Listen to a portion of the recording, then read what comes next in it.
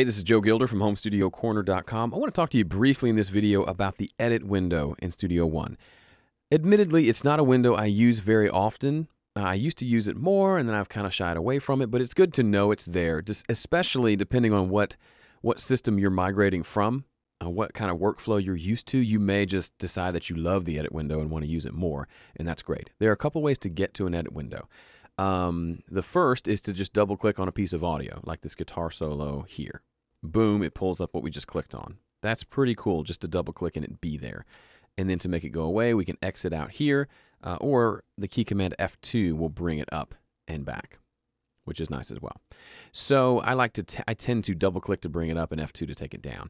What's cool about the edit window and where I think it makes sense is there's really no added features in the edit window. It's just an extra window to uh, see a different part of the song, a, a, different view at a different level. Okay, so maybe you like to sit here and you're working on a mix, and you come across something you need to edit really quickly.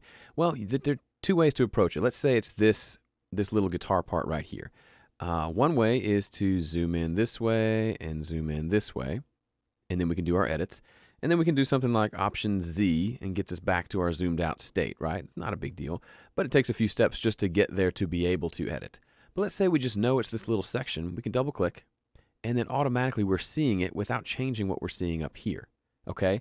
And then we can go through and we can do whatever. If it was this crossfade uh, needed to be moved over a little bit, or if there wasn't a crossfade, we needed to add it in, or maybe this part needed to be faded out a little more. We can do that right here, very up close, and then we can press F2 and be back out again. Or maybe you're doing a lot of editing where you're doing a lot of cutting, right? You're using the split tool quite a bit.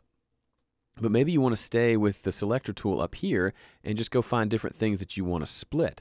One of the cool things about the edit window is when you open it up, you can you can change what tool you're using and that will stay the active tool in the edit window.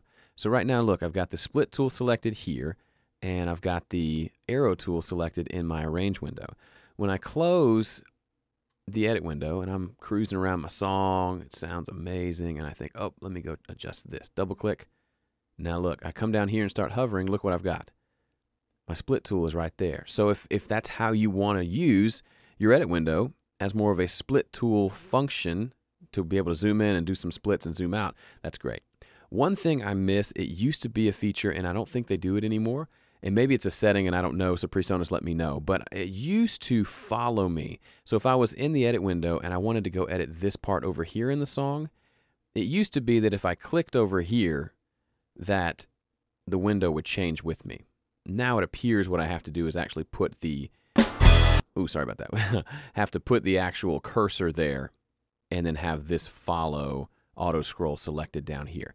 But it does also, there everything's independent. So this can be, you can have snap to grid on down here and not up there. You can have it following, you know, maybe you have up here, you have it selected to auto scroll and to follow the bouncing ball as it moves along, and over here you don't because you're zoomed in and want to see something up close. So you have lots of options. It's the same tools, it's just basically a new window in which to do that. And of course, you can pop it out like this and put it on another monitor if you really want to get crazy and go nuts. But if you'd like having that function, it's there for you, awaiting for you, awaiting for you, awaiting you. That's the right way to say that.